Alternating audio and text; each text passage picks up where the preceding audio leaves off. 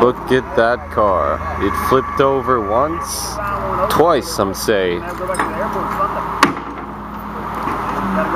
And Charade, Charade's doing just fine.